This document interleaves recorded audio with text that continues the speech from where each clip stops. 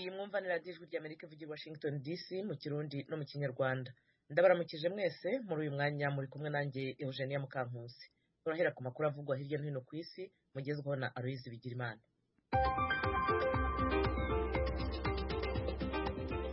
Bagize mwaramutse ejeni n'abaduteze amatwi muri aka kanya. Turayahera ku ntambara yo muri ikirere umunyamabanga mukuru wa oni antonio guterres yavuze ejo ku munsi wa mbere ko ishyirahamwe arongoye ririko rirarondera amasezerano yo guhagarika intambara hagati y'uburusiya na ikirere kubwira imfashanyo zishikire abazikeneye. Ni mu gihe abasivile bapfa babandanya biyongera inyuma y'ukwezi uburusiya buteye ikirere Guterres yabwiye abamenyeshamakuru ko yasabye umuyobozi ajejwe imfashanyo muri ONU Martin Griffiths kunyarutsa kuvugana n'impande zegwa n'intambara kugira haboneke umwumvikano utuma intambara zihagarara muri Ukraine kugira imfashanyo zishikire abazikeneye. Yavuze ko yizeye ko Griffiths azogendera Uburusiya na Ukraine mu minsi ya vuba niyava mu rugendo arimwo muri Afghanistan. Mu ndwi iheze inama ya bose ya ONU yaremeje ku majwi yose nka yose menshi ingingo isaba Uburusiya guhagarika intambara muri Ukraine. Naho ibiganiro hagati y'intumwa z'Uburusiya na Ukraine muri Turukiya gushika ubu ntaco birashika ko kandi n'abategetsi ba Ukraine bavuga ko bataye ivyizigiro mu gihe ibiganiro bisubira kuba kuri uyu munsi wa kabiri. Umushikiranganji w'ubutegetsi bw'abatalibani yasavye ejo ku munsi wa mbere kwemera ko abakobwa basubira kwiga. Ni mu nama yabereye muri Qatar mu gihe amakungu arushiriza gushikiriza amakenga ku ihungabanywa ry'agateka ka muntu muri Afghanistan. Ibihugu by'ubwongereza n'ubudage biriko birategura inama izoba ku munsi wa kane yo gutororokanya imfashanyo y'amafaranga kuri Afghanistan mu gihe amashirahamwe y'abagiraneza agabisha ko hari ibibazo by'ubukene n'ibifungurwa n'imiti muri ico gihugu kibamwo abantu bangana miliyoni mirongo itatu n'indwi. Abashikiranganji b'imigenderanire b'ubudagi hamwe n'ubwongereza baragabishije abatalibani na politike yabo yo kubuza abakobwa kwiga no guhungabanya agateka k'abakenyezi. Kuri bo ibi bishobora gutuma afghanistan itaronswa imiliyaridi zine n'ibice bine z'amadolari ikeneye yo kuronsa ico gihugu ibifungurwa n'imiti muri uyu mwaka wa bibiri na mirongo ibiri na kabiri. Washington ijwi rya Amerika. Muyavugwa mu makungu kandi ni hano muri leta z'ubumwe za Amerika ishyirahamwe ry'abagize ingaruka ku mabi ashingiye ku gitsina baragaragaje ejo ku munsi wa mbere. Uwahoze ari umwepiskopi katolika muri leta ya New York mu buraruko bushira ubuseruko bwa leta z'ubumwe za Amerika. Bavuga ko yemeye kuba yarafashe minenegwe ibyaha bishingiye ku gitsina byakorewe abana bikorwa n'abapadiri cumi n'umwe mu kiringo cy'imyaka mirongo ibiri n'itanu. Mu kwezi kwa kane bibiri na mirongo ibiri na rimwe Howard Abed yahoze ari umwepiskope wa Eklezia Katolika mu gisagara ca Albany ni muri leta ya New York yaremanze imbere y'ubucamanza ko kuva mu gihumbi kimwe amajana icenda mirongo irindwi n'indwi gushika muri bibiri na kabiri yahawe amakuru y'ivyo vyaha ariko ntiyigeze abashengeza ku gipolisi. Iri shirahamwe rivuga ko ryizeye ko abajejwe kubahiriza amategeko bagiye kuzohana icaha cose cakozwe. Diyoseze y'igisagara ca Albany yavuze ko ico ishira imbere ari ugukingira no gufasha abakorewe ayo mabi hamwe n'abayarokotse kandi kukuri gukwiye kuja ahagaragara. Nayo muri Honduras sentare ntayinyuzwa ejo kuwa mbere yaremeje irungikwa ry'uwahoze ari perezida w'ico gihugu Juan Orlando Hernandez muri leta z'ubumwe za Amerika gukurikiranwa n'ubutungane ku byaha byo gucuruza ibiyovyabwenge yagirizwa. Hernandez ashobora kuzofungwa ubuzima bwiwe bwose mu gihe ivyaha vyomwagira uwahoze ari umushinga amateka akaba kandi n'umuvukanyi wiwe yitwa Tony Hernandez nawe nyene yarahanyishijwe gufungwa ubuzima bwiwe bwose muri Amerika mu kwezi kwa gatatu bibiri na mirongo ibiri na rimwe ku vyaha byo kudandaza ibiyayuramutwe. Hernandez yatwaye honduras kuva mu bihumbi bibiri na cumi na kane gushika bibiri na mirongo ibiri na kabiri yagirizwa kuba yarinjije muri amerika amatoni amajana atanu y'ibiyayuramutwe abikuye muri colombia na venezuela kuva mu bihumbi bibiri na kane. Yafashwe hagati mu kwezi kwa kabiri amaze ikiringo kiri munsi y'ukwezi kumwe avuye ku butegetsi. Washington ijwi ry'amerika mu kurangiza abategetsi bakomeye baserukira leta z'ubumwe za amerika n'ibihugu bine by'abarabu barahuriye ejo ku munsi wa mbere muri israeli aho berekanye ko bagize urunani rwo kurwaniriza hamwe igihugu ca irani iyo nama yabaye kandi kugira basabe israeli gusubira kubandanya umugambi w'amahoro n'abanyepalestina wahagaze. Abategetsi ba israeli bavuga ko ibiganiro nk'ivyo bizosubira kuba. Ni mu gihe ico gihugu kiriko kigiranira imigenderanire myiza mu vyerekeye ubudandaji n'umutekano hamwe n'ibihugu bitari bike vy'abarabu. Umushikiranganji ajejwe imigenderanire wa israeli yair rapid yatangaje ko imigenderanire bariko baragirana n'ibihugu by'abarabu izotera ubwoba abansi bisangiye. Muri abo bansi ubwa mbere na mbere haza irani hamwe n'ibihugu bicuditse. Yabitangaje ari kumwe na bagenzi we bo muri leta z'ubumwe za amerika emira zunze ubumwe z'abarabu baherene maroc hamwe na misiri. Emira z'abarabu zunze ubumwe baherene na maroc byafashe ingingo yo kunagura imigenderanire na israeli hisunzwe umugambi washigikiwe na leta z'ubumwe za amerika mu bihumbi bibiri na mirongo ibiri.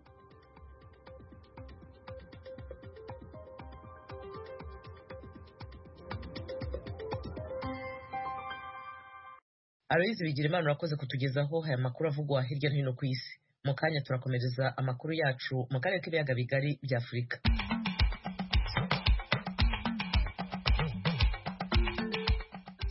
Ubuyobozi bw'intara ya kivu ya ruguru mu burasirazuba bwa kongo burashinja ingabo z'u rwanda kuba zifasha umutwe w'abarwanyi ba ma makumyabiri na gatatu uhungabanya umutekano w'abaturage muri ako karere.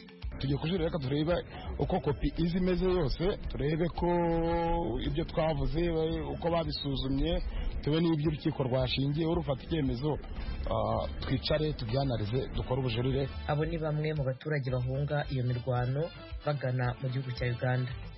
Impunzi z'abarundi barenga gato ibihumbi bitatu batuye mu nkambi ya nduta. Batagira ibyangombwa by'impunzi barasaba leta ya tanzania na hcr kubafasha bakabona ibiribwa. Naho mu burundi bamwe mu bantu basabye pasiporo kuva mu kwezi kwa cumi k'umwaka ushize. Bazatangira kuzihabwa mu ntangiriro z'uku kwezi gutaha kwa kane. Izi nkuru hamwe n'izindi twabateguriye turazibagezaho ku buryo burambuye mu mwanya muto ntimujye kure.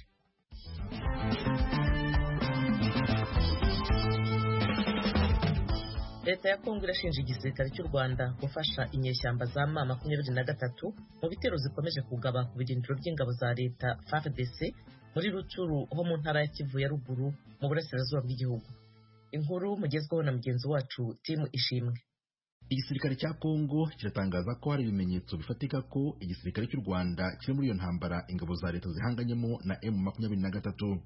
Ibyo ni bimwe mu bikubiye mu itangazo ryasohowe n'igisirikare cya Congo FARDC kuri uyu wa mbere ijwi rya Amerika yaboneye kopi bigaragara ko byashyizweho umukono na Generali Ekenge Bomusa Sylvain umuyobozi wungirije wa FARDC akaba n'umuvugizi wa guverineri w'intara ya Kivu ya ruguru ubu iyobowe mu buryo bwa gisirikare. Igisirikare cya Kongo kivugamo ko mu ijoro ryo ku cyumweru tariki ya makumyabiri na karindwi rishyira uyu wa mbere tariki ya makumyabiri n'umunani y'ukwezi kwa gatatu inyeshyamba za M makumyabiri na gatatu zishyigikiwe n'igisirikare cy'u Rwanda RDF zagabye ibitero ku birindiro bya FARDC biri mu duce twa Canzu na Runyonyi ho muri teritwari ya Rucuru. Mu byo ingabo za Kongo zishingiraho zishinja RDF kwifatanya na M makumyabiri na gatatu muri ibyo bitero nk'uko General Ekenge abigarukaho muri iri tangazo harimo abasirikare babiri bafatiwe ku rugamba ngo bemera ko ari abanyarwanda bakagaragaza nimero z'ibanga mu gisirikare cy'u Rwanda n'imitwe babarizwamo. Abo nk'uko igisirikare cya Kongo kibivuga ni umwe ufite ipiti rya ajida ndetse na mugenzi w'umusirikare muto bombi bemera ko ari ab'u Rwanda babarizwa muri batayo ya mirongo itandatu na gatanu muri burigade ya magana ane na kabiri zibarizwa i Kibungo mu Rwanda. Gishingiye kuri aya makuru igisirikare cya kongo kikavuga ko kibaza aho bigana guhuriza hamwe ingufu mu bikorwa bya gisirikare n'umufatanyabikorwa m makumyabiri na gatatu utubahiriza ibimureba ku byerekeye repubulika ya demokarasi ya kongo ntanubahirize ibyo yiyemereye mu nama n'ibiganiro byo ku nzego zose byagiye bihuza abategetsi b'impande zombi. Kugeza ubu igisirikare cy'u rwanda ntacyo kiratangaza ku birebana n'ibi birego byo kwifatanya na m makumyabiri na gatatu gishinjwa n'icya leta ya kongo amakuru y'ibitero bya m makumyabiri na gatatu muri canzu na runyonyi yamenyekanye mu gitondo cyo kuri wa mbere. Imiryango ya sosiyete civile yaho yabwiye itangazamakuru ko bamwe mu baturage batuye utwo turere batangiye guta izabo ndetse hari ababarirwa mu magana bambutse umupaka wa bunagana bahungira mu gihugu gituranyi cya uganda ibitero bya M makumyabiri na gatatu muri Canzu na Runyonyi bije mu gihe uyu mutwe waherukaga gusohora itangazo aho washinjaga ingabo za leta ya Kongo gushotora abarwanyi babo aho bategerereje iyubahirizwa ry'amasezerano uwo mutwe wagiranye na leta arebana no gusubizwa mu buzima busanzwe. Si ubwa mbere u Rwanda ruvugwaho gushyigikira inyeshyamba za M makumyabiri na gatatu. Mu ntangiriro z'ukwezi kwa cumi na kumwe k'umwaka ushize bibiri na makumyabiri na rimwe ubwo izi nyeshyamba nabwo zuburaga ibitero muri teritwari ya rucuru u rwanda rwashyizwe mu majwi kuba abarwanyi bateye baba ariho bahunze berekeza nyuma yo gutsindwa n'igisirikare cya kongo ndetse ko ari naho bari bateye baturuka. Icyakora icyo gihe igisirikare cy'u rwanda ibyo cyabagihakanye kivuga ko nta murwanyi wa m makumyabiri na gatatu wigeze uba mu rwanda ko ibitangazwa ari cengezamatwara propagande rigamije rigamije kudobya umubano w'u Rwanda na Repubulika ya Demokarasi ya Kongo. Urakoze timu ishimwe. Kuri iki kibazo twabajije umuvugizi w'ingabo z'u Rwanda niba hari icyo yatangaza kuri ibi birego by'ubuyobozi bw'intara ya Kivu ya ruguru. Turacyategereje icyo abitubwiraho. Tukiri kuri icyo kibazo imirwano ikaze mu gace ka Rucuru muri Kongo imaze kwimura abantu ibihumbi n'ibihumbi bahungiye mu gihugu baturanye cya Uganda. Ignatius Bahizi abahinkuru. Nikipiga hapo tena wasoda walikuwa pale wanakimbia. Beba alikuwa anaenda kumstarehe. urwo ni urusaku rw'abantu bahungaga bamwe birukaga abandi bari ku mapikipiki bose bahungira muri uganda amashusho na videwo bisangirwa ku mbuga nkoranyambaga ava ku mupaka wa uganda na repubulika ya demokarasi ya kongo wa bunagana yerekana abantu benshi cyane barimo abagore n'abana birukira muri uganda bitwaje ibintu byo mu rugo biremereye abandi batwaraga moto ku muvuduko uteye ubwoba bigaragara ko bahungaga akaga.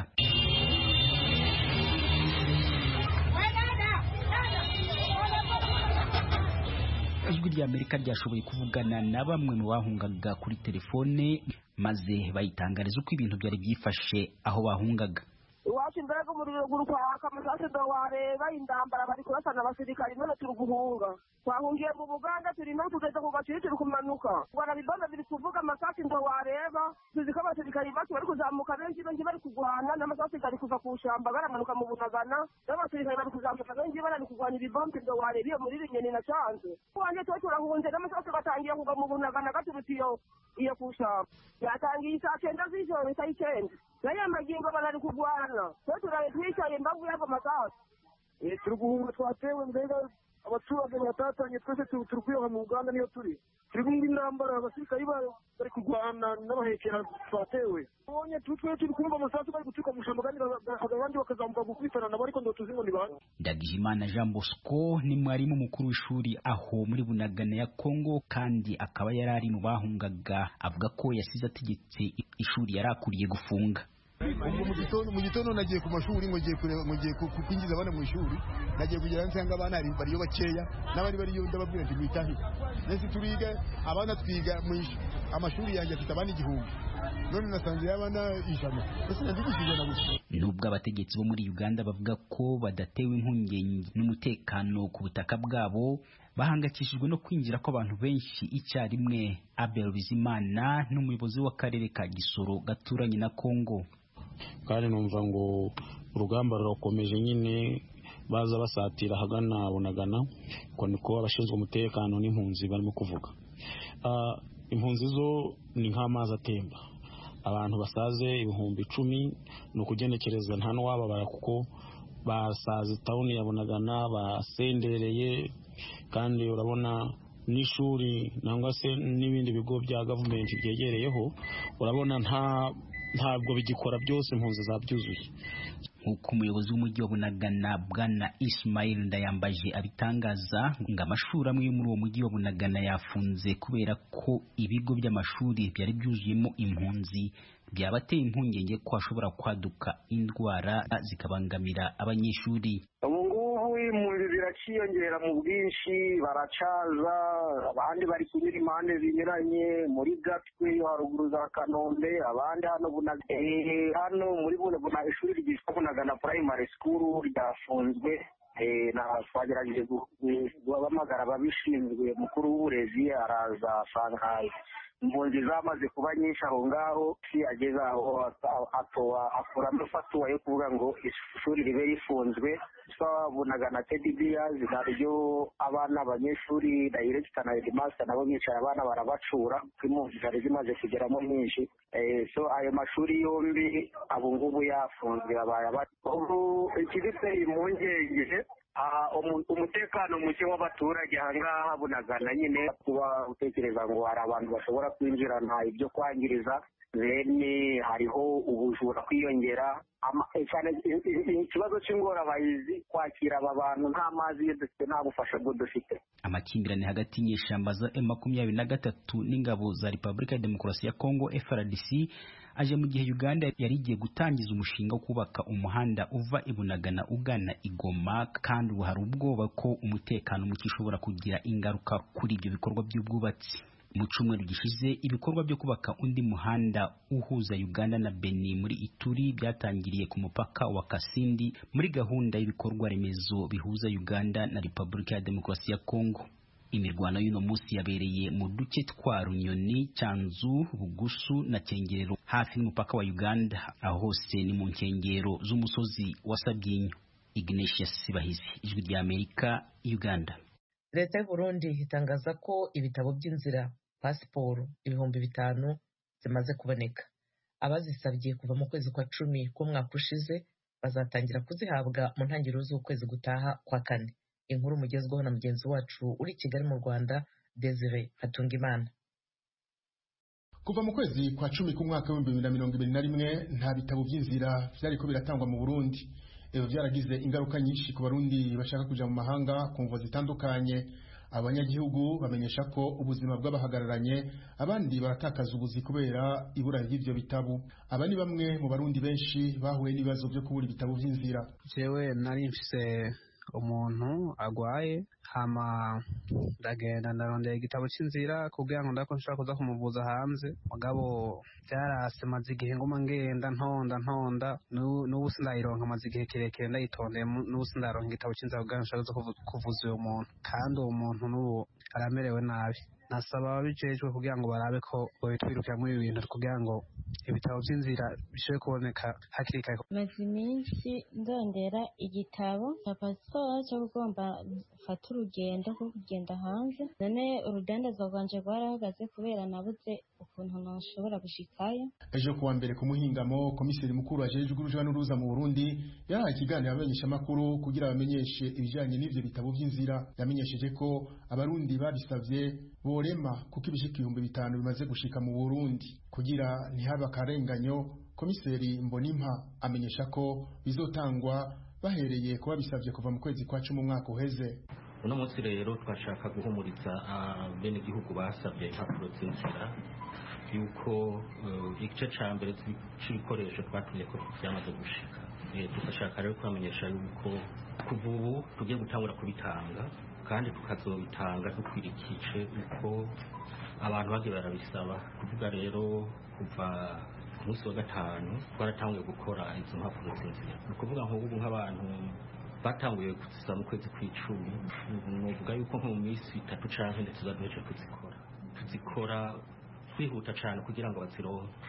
Niba rero tugiye gukora ku buryo mu minsi ya vuba bose bazironse turavye urutonde bagiye barabisa komiseri mbonimpa arahumuriza abarundi ko ubwo bukene bwibonekeza mu mezi aheze butazosubira kuko bahakuye icigwa. Amenyesha ko abamaze kuriha baba ibihumbi icumi bazotunganirizwa vuba. Mu mwaka uheze kuva mu kwezi kw'indwi haraje abantu benshi bavuye hanze baje guhinduza impapuro z'inzira kubera byabahereye abo bagiye batwaye amapasiporo menshi cyane nico gituma twaciye tugira komande nini cyane kubera twabonye yuko uno munsi abarundi basigaye barondera pasiporo kujya barondera akangamuntu. Kare twahora dukomanda ku mwaka nka pasiporo nk'ibihumbi biri hagati ya cumi na bitanu na mirongo ibiri. Mugabo twagize komande ya pasiporo ibihumbi mirongo itanu. Kibaza rero yuko mu minsi ya vuba icyo kibazo kitazosubira kuba kuko twarabyiteguriye cyane kuko byaratwigishije ibitabo by'inzira byahora bikorwa n'ishyirahamwe contact global byagurwa amafaranga y'amarundi ibihumbi majana abiri na mirongo itatu na bitanu ubu bizokorwa na leta y'u Burundi hari rero abibaza ko igiciro kizoca kigabanuka kubera byagiye mu minwe ya leta komiseri mbonimpa aratanga inyishu kuri icyo kibazo niko nibaza yuko ibitabo by'inzira bizava biri bitsimbuka kuko nk'uko muza kubibona n'ibyo byuma byo kubikora na byo nyine biratsinze. Kandi murazi yuko izo mpapuro z'inzira hariho abantu bibaza yuko tubikora hano. Hafi ni impapuro usanga zirimo sekirite nini kandi tutashobora kubironka hano hafi. Izi mpapuro z'inzira dufise pasiporo y'uno munsi. Zigurira mu gihugu bita sloveni uravye rero ubuhinga babikoramo murabona yuko ari ubuhinga budasanzwe. Uravye n'ibintu birimwo urabona yuko igiciro atari kinini cane. Komiseri mbonimpa mohis ajejwe uruja n'uruza mu gihugu cy'u Burundi amenyesha abarundi ko ata muntu n'umwe arekuriwe gutorera igitabo cy'inzira uwundi. Abari mu mahanga nabo ibitabo by'inzira byabo vyaheze kiretse abanyeshuri vyahereye ko bataraheza amashuri yabo bashobora kubirungikirwa ukeneye igitabo cy'inzira wese ategezwa kwishikiraho bitangirwa Desire Hatungimana Kigali ijwi rya Amerika. Impunzi z'abarundi barenga gato ibihumbi bitatu batuye mu nkambi ya Nduta. Nta byangombwa bafite bibaha uburenganzira bwo gutura mu nkambi barasaba leta ya Tanzania n'ishami rya ONU ryita ku mpunzi HCR kubaha uburenganzira bwo kuba mu nkambi hamwe n'imfashanyo nk'izindi mpunzi mu gihe ibibazo byabo bitarakemuka. Inkuru y'umunyamakuru w'ijwi rya Amerika muri Tanzania James Jovin. Ivyo bitigiri bitangwa n'ibiro vy'uruja n'uruza muri komine Kibondo. Abo n'abinjiye mu nkambi mu kiringo kitarenga imyaka ibiri ishize nyuma yaho abarenga gato ibihumbi bibiri batahukanywe ku nguvu na leta ya Tanzania mu ntango z'umwaka w'ibihumbi bibiri na mirongo ibiri. Ishyirahamwe mpuzamakungu ryita ku mpunzi HCR buri mwaka ritahukana impunzi zirenga gato ibihumbi icumi ku bushake bwazo. Gusa hari abagaruka mu nkambi nyuma yaho basanga ico bahunze kitarakemuka. Ikibazo nuko baca babura uburenganzira bwo kwitwa impunzi. Kubera umugambi wo kwakira impunzi wugawe kuva mu mwaka w'ibihumbi bibiri cumi n'indwi zimwe mu mpunzi zari zaratahutse ku bushake bwazo. Zongera ziragaruka mu nkambi zabariye ijwi rya amerika ko zigarukanwa n'amabi zisanga mu gihugu c'amavuko. Uriko urahunguka wifite utuntu tw'uwawe data wanje. Bakatukubonana bakurara ko ngo bijya bintu babikuye kandi wari mu burundi nawe atavyafise hariho n'ibintu bivuga ngo imbonera kure imbonera kure wavuga cege ngo wahunze iki wahunze iki ngo uracacavuga rero ngo none ngo mu kugenda we wagenda urasezerende umuntu abona ariko aragomba kwitwa canke afise ingorane zijanye n'umutekano wiwe mubi. Aravaho ukazoca imana ushitse hariya uca usanga bihindutse ukundi kuntu ni uko twashyitse mu burundi abantu bamwe bamwe baca batangura kudutera ubwoba abantu batashe ko ata jambo dufise hariya tubona umenga twoba tuko turabana nabi nabo twere turavuga ati ko tubona ibibazo baguma baduteza ngaha ubwo bwoba nyine baduteza. Reka tuce dusubira hariya turabe vyogenda gute. Uwo mutekano w'umuntu twebwe tuvuye ngaha mu tuzoba tuvuye mu mwami uzomeze ngwi ivyo kuja hanze biterwa n'umutekano mubi twumva nabo bakiri bato bagenda mu Burundi baca bakubita bigira mu bindi bihugu. Ko bakomeye babonye hameze nabi. None natwe nta n'ukwiruka nta n'iki. Aha twarirutse abahunguka ku neza yabo bohunguka. Abafise iyo bataha baja bagataha nonga twega bazehe atanu kwiruka atanu kugira gute. Yuwe niyoraba ati aba bantu bakaraba ahantu batwegeraniriza bakaduhudumiya haba ha muri tanzaniya haba n'ahandi. Aho yodushira twebwe tukigumiraho mu minwe ya yuweni urupfu rukaza rukakira ko ntitukirima ntitukija gutwara ntitukija kurondera ivyo turondera muri leta. Dusaba utwo twirira gusa naho twiryamira. Impunzi z'abarundi zatanguye gutahuka ku bushake bwazo muri bibiri cumi n'indwi. Kuva ubwo hari abataha bakongera bakagaruka kubera amabi basanga mu burundi. Ku bw'izo mpamvu hari abongera guhunga. Basaba leta ya tanzania co kimwe na aser ko yoborohereza ikabaha uburenganzira bwo kuba mu nkambi no kuronswa imfashanyo nk'abandi mu gihe ibibazo byabo bitarakemuka. Aho babona dukwiye kuba bibatwungurutse badushiyeho no kutwungurutsa badutwara i burundi. N'abagiyeyo siyo bakiri. Natwe nta ngufu dufise zo gusubira guhunga. Twarahunze twarahunze nibarabe yuko badufata mu mugongo. Babona yuko badutwara mu muriro batwareyo. Babona yuko bakwiye yuko twaba turabaho. Barabaho twaba turaba. Haba ni ngaha twaronkera amahoro tukaronka ibyo abandi baronka bakadufata neza. Twibereho umuntu abonye ararose gatiro avuga ati ndarambye dusaba yuwe yuko tutoguma mu ibarabara natwe atangufu tugifise yuko turonderera ahantu twitunira mu ntango z'umwaka w'ibihumbi bibiri na mirongo ibiri leta y'igihugu ca tanzania yararobanuye impunzi zirenga gato ibihumbi bibiri. Zidafite ibyangombwa biziha uburenganzira bwo kuba mu nkambi. Hama zitahukana ku nguvu. Ico gihe leta ya tanzania yitwaje ko ari bo bahungabanya umutekano. Kubera bataronswa imfashanyo nk'abandi naho biri uko bama bagarutse ku mpamvu y'umutekano muke basanga mu gihugu c'amavuko. Kuva mu nkambi ya nduta iri mu gihugu ca tanzania james jovini ku bw'ijwi ry'amerika radiyo ijwi ry'amerika ivugira washington dc mu kirundi no mu kinyarwanda. Mu burundi mutwumvira ku mirongo migufi short wave kuri metero cumi n'icyenda na metero makumyabiri n'ebyiri. Mu rwanda turi kuri fm ijana na kane n'ibice bitatu ijwi ry'amerika abadukurikira kuri interineti ni kuri wa eshatu akadomo radiyo yacu voa akadomo com. Mwadusanga no kuri instagram na facebook voa radiyo yacu. Nshuti mwari muduteze amatwi ibiganiro twabateguriye kuri iyi saha na hari humurije ntimuze gucikwa n'ibiza gukurikira. Tubashimiye ko mwahisemo gukurikira radiyo yanyu ijwi ry'amerika bakoze kandi bagenzi banjye bagize uruhare muri ibi biganiro. Byari bihagarariwe na frederic nkundikije nadia taha ni we washyize hamwe amajwi. Kuri mikoro mwari kumwe nanjye eugenia mukankusi tubasezeye tubifuriza mwese amahoro n'amahirwe